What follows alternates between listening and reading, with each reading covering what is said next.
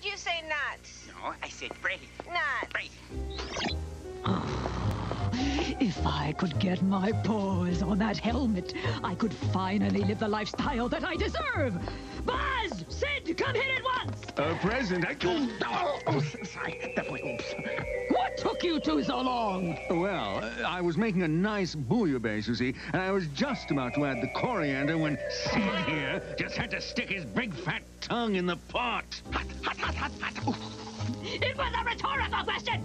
It's just that you're such a sophisticated and, and subtle person. It's hard for Sid and I to tell sometimes whether you're angry or, or not angry. Do you see, we're, we're in a terrible quandary at times with him. No, no, not the blackboard! Now that I have your attention, I have a job for you to do. I want you to pay a visit to a Mr. Virgil Reality. Hungry, hungry. Apparently, he's created a helmet that could make me the richest and most powerful creature in the universe.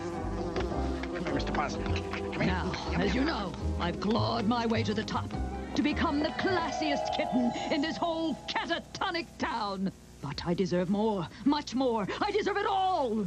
Yes, yes, darling, of course you do.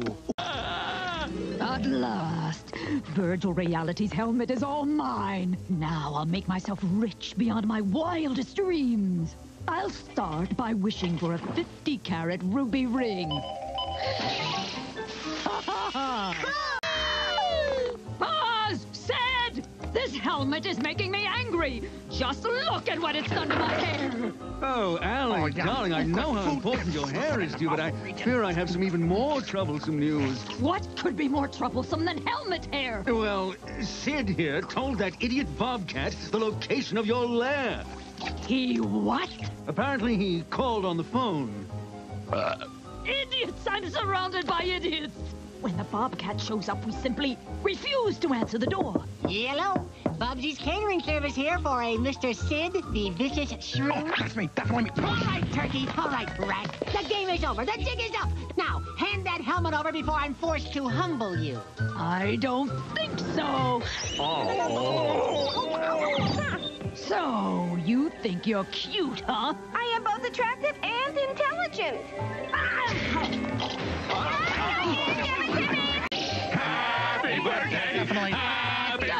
Mine! Hey! I, Oblivia, take Busted to be my lawfully wedded... Bubsy! Give me that helmet! Now you're all in hot water. Why, you ungrateful turkey! Gimme, gimme! Oh! I want my own TV show! This week on Lifestyles of the Rich and Furry, we travel to beautiful Las Vegas. Naughty night spot of the classy Allie Cassandra.